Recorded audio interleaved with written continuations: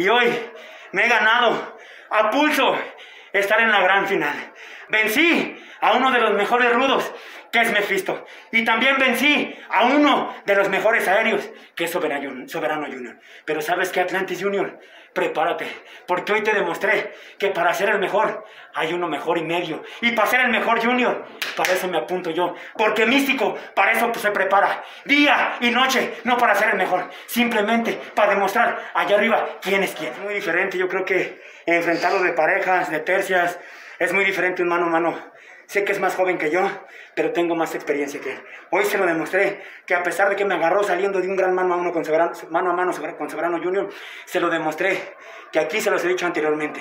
Lo que más importa es la condición física. Y eso es lo que a mí me sobra. Y hoy me voy a preparar más y más porque quiero ser el mejor junior de todos. Pero si me quieren ocupar de escalón, se están topando con pared. Porque a mí me ha costado sudor, sangre, lágrimas, picar piedra. Una vez más aquí como carístico, ahora como místico. Y hoy les voy a demostrar de qué estoy hecho.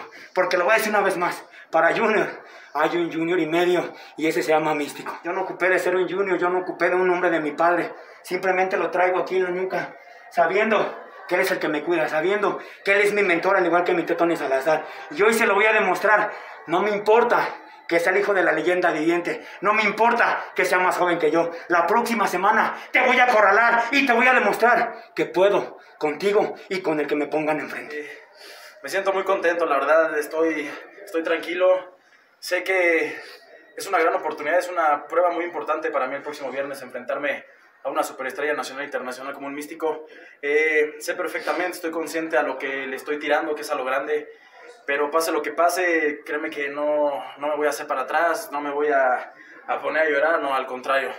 El próximo viernes es, es, una, es, es algo para que, es, una, es un examen para demostrarle a la gente, a la prensa, al Consejo Mundial de Lucha Libre que soy un junior preparado, que tiene las cualidades para ser un grande, para ser una estrella en la lucha libre. Entonces, Místico, tu carrera está terminando y de eso me voy a encargar yo. Cuando mi padre era rudo, perseguí igual a Místico, no se dio el duelo que ellos querían, no sé si nada más era por los campeonatos o querían las máscaras contra máscaras, no sé, desconozco, pero yo sí voy por Místico, sé que es un grande, si se llega a dar en algún futuro no sé cuántos años pasen, un duelo de máscara contra máscara con él, creo que sería un triunfo único, un triunfo mágico, pero bueno, primero está la rivalidad con Estuca y si el próximo viernes inicia un duelo de, un, bueno, empieza la rivalidad con Místico, yo voy a estar encantado, ¿por qué? Porque cuando sacamos la fusión de máscaras, creo que fue un boom, mucha gente le gustó, salió en todas las redes sociales, ahora los vendedores se fueron a las arenas, los venden, le quise dar la mano y me dio la espalda, bueno, ahora por eso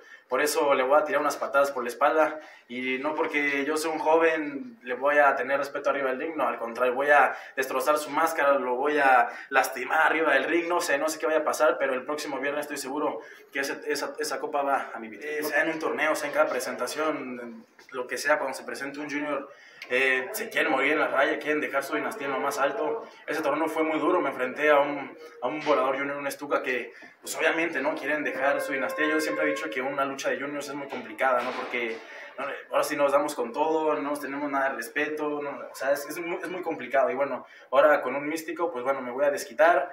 Eh, cuando mi padre rudo le llegó a pegar también, eh, también fue rudo, entonces bueno, ahora es mi oportunidad, es mi momento, me siento contento, súper preparado,